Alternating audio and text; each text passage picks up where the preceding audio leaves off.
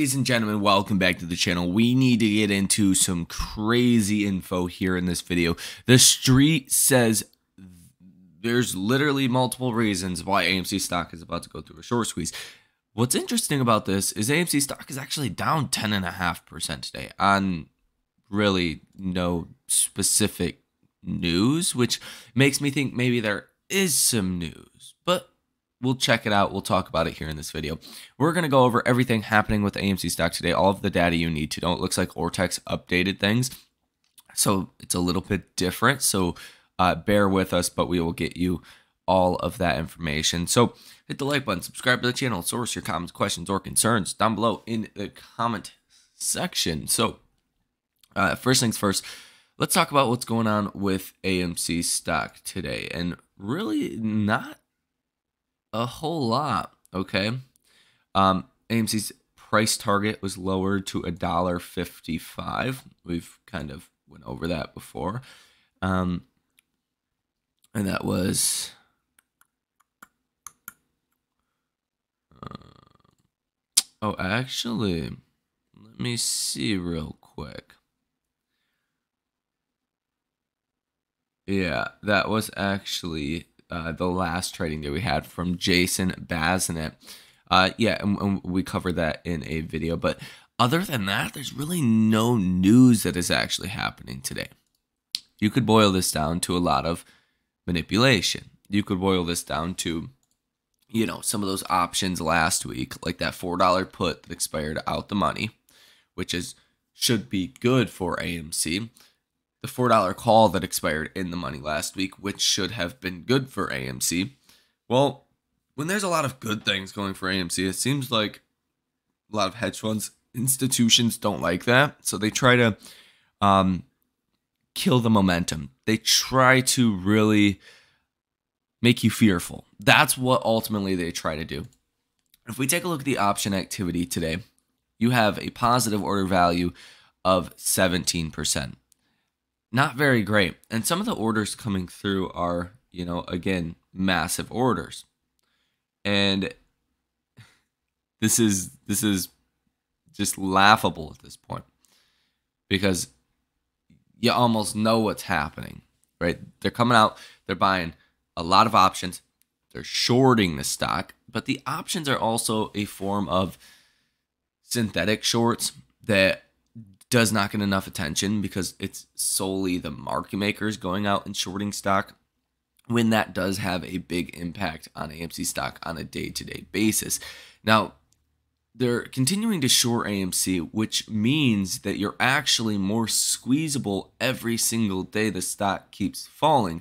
And I'm excited to go over this article with you guys, but let's give you a rundown of some of the numbers that we're seeing on the day today um, for AMC. So, cost to borrow fees sky high. Cost to borrow average 1,020%. Cost to borrow minimum 500 uh, or uh, 956.5%. Um, cost to borrow max 1,050%. It looks like you're seeing uh, borrowed shares of 64,000, return shares of 154,000 here today. And this is probably the data that we are seeing for Friday, um, considering Friday was a, a green day and a relative outperforming day um, for AMC stock. So that would make some sense. Cost of borrow fees currently, uh, it looks like uh, about 900% over on Interactive Broker. So some crazy high numbers that we're seeing over here. If we take a look, 27.95% short interest of free float, $590.31 million that is currently sold short, 4.83 days to cover, 144.33 million shares that are currently uh, sold short, and 205 million shares out on loan. That's a crazy uh, difference here. You have what almost 60 million shares difference that is out on loan that is not sold short yet. So you could see more shorting pressure, or or you could ultimately see um, just the short interest actually catch up because I think there's a lot more short shorting that has happened um, that Ortex maybe has not picked up yet. So once the official report does come out, then we will get a better picture. Cost of borrow fees trailing three month average is up 303% over the past three months, sitting at 317.55%. And utilization is at 90.4%. This is up from what we seen last week at about 84%. And the short score is at 91.65 out of 100. This is actually still up about 3% within the last three months or so. So you're looking very squeezable here uh, currently. And if you look at the FTD numbers, we have not gotten any new updates as far as you know the next following weeks. But if we take a look at today, you have 10 million shares that currently need to be bought back today as far as the FTDs. Now, tomorrow you're going to have 12 million. The day after that, you're going to have 11 million. The day after that, you're going to have 12 million. And the day after that, which is going to be Friday, you're going to have 12.1 million. So the FTDs are not going away anytime soon. It does not look like they are in a big rush to cover on any of these positions. And that is, well, to our benefit. Now, this Thursday, we're going to be getting the reverse split. As long as the Supreme Court does not block this again or prevent this. And basically, the argument that you guys need to know is AMC has to pay out the settlement to AMC common shareholders and, in theory, ape holders as well, because it's the same company, the same stock. That's the argument being made. And that does make a lot of sense. So we'll see if the courts do ultimately delay this based off this 10% move we are seeing down today. It does not look like it's going to be um, delayed, but that is certainly a possibility nonetheless. So so do do keep that in mind. Um, that that could be news that does break at literally any time. And if we take a look at this article, this is um beautiful article from the street says AMC stock, here's why short squeeze is now likely. Renewed demand to short AMC, which comes at the end of the drama involving the ape uh, shares, may trigger fresh short squeezes. The uncertainty surrounding the ape or surrounding the AMC's conversion of ape units into common shares has ended after news of the plan's approval was released. AMC shares plummeted 35%. Short interest for AMC stock with, shorting demand exacerbated by the short side of the ape arbitrage trade. Despite a bearish outlook due to dilution, AMC saw a 20% rebound in its stock price after an initial 35% plunge. That rebound was likely driven by retail traders buying the dip and attempting to put pressure on short sellers. So again, the street confirming as well that it does not look like shorts have actually covered in any kind of way. Now it says AMC ripped apart by bears. After Delaware Vice Chancellor Morgan Zurn accepted a revised version of AMC Entertainment's stock conversion plan, the drama surrounding preferred equity APE unit seems to have come to an end. AMC now has the green light to proceed with the conversion of APE shares to AMC shares and to execute its planned reverse stock split. Nearly 1 billion outstanding APE shares will join 519.19 million AMC common shares, pushing AMC's total share count to approximately 1.4 1.51 billion. In other words, current shares will be diluted by about 90%. On the other hand, AMC is expected to raise a sizable amount of cash, probably billions of dollars, which will be a great relief for the company's uh, pressured liquidity and balance sheet. Still, the prospects of significant dilution for AMC stock was not looked upon kindly by investors. AMC shares sank 35% in the wake of the settlement news. Cost to borrow is exploding. Did the Bears get a little too bloodthirsty?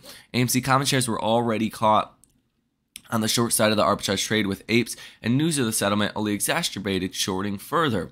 AMC's float held short reached nearly 30%, and borrowing fees shot past 900% as the availability of shares evaporated in the face of monstrous borrowing demand. But bears may have overextended themselves. Since the August 14th trading session, when AMC shares plunged 35%, the stock has seen a 20% rebound. Traders are eagerly buying the dip and ramping up pressure on short sellers. AMC shares recrossed the $4 level on Friday, August 18th. Short squeeze setup. AMC will work to execute both its APE conversion and its reverse stock split over the next few days. Although the threat of significant share dilution is obviously bearish, the upshot of AMC share price is still hard to guess. With borrowing fees closing in on 1000%, any upward trend in AMC's price could spell disaster for bears. Given the tremendous short pressure on AMC and the tremendous attention to the stock the stock is receiving from retail investors. High volatility and high trading volume are to be expected. Placing a short bet on AMC may seem perfectly logical given the upcoming ape conversion, but shorts have been burned many times betting against this retail favorite. And that's that's exactly it, right? So let me break this down a little bit a little bit further because we've talked about this and I think everyone really needs to hear it. This is pricing in a lot of dilution. If we don't get dilution right away, then I think there is that big upside move because I think you're going to get people that pay attention to AMC again for the first time in a long time once you do get the reverse split. Once you do get this the stock actually at $40 per share. Because you can okay. It if AMC were to double, right? At $4, AMC were to double, go to $8. Okay, that's that's that's great awesome. Now, if AMC were to double when it's at $40, you're going to go to $80. You can make more off of the options with a higher share price. If you get an outsized move, that's that's kind of like playing puts on AMC. That well, that doesn't make sense. It can only drop four dollars. You can only make four hundred dollars on every put. If you're spending, you know, a bunch of money, it just doesn't make sense. That's why these trades don't make any sense when I look at them. The institutional and hedge fund put trades. Now, if you're playing something like a Tesla or something like a Chipotle that has a two hundred dollar share price, three hundred dollar share price to a thousand dollar, fifteen hundred dollar share price. Well, if you get a big outsized move to the downside or even the upside, you can make more on those options because there's more dollars, there's more potential money to be made. So I think that kind of uh, makes the appealability to trade AMC a little bit higher, believe that or not, with the share price actually being higher, and it will allow the stock to move around a lot more. Now, we know one thing and one thing only. Short sellers, they need to cover. With these cost of borrow fees over a thousand percent, that means they're paying almost three percent every single day to be short in AMC. So the average days out on loan is about four and a half months. so uh, they are severely underwater on their positions. These 10% drops don't even matter in the grand scope of things. They're still losing on these positions. So that is a obvious big problem for hedge funds and institutions. So that's kind of what we're dealing with right now. I think there's this weird dynamic happening in the markets as well. Some of your small and mid cap stocks are actually doing okay, but not great. And some of your very big cap stocks, like Tesla, is up 6% on the day.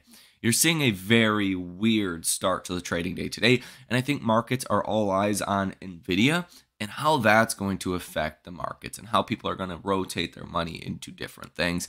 Um, I don't have a solid finger on, on what's happening today, it does look like just another big shorting attack from hedge funds and institutions. That's what I would personally guess. So that is going to do it for this video. Hit that like button, subscribe to the channel, and source your comments, questions, or concerns down below in the comment section. You guys have a great rest of your day, and I will see you in the next one.